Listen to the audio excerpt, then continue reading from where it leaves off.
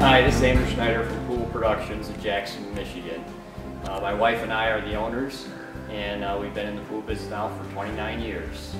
Uh, we joined Carecraft in 2009 uh, to take advantage of our buying power of the group and uh, to be more competitive with the box stores, with other dealers, and to uh, be competitive or try to be more competitive with the infamous internet.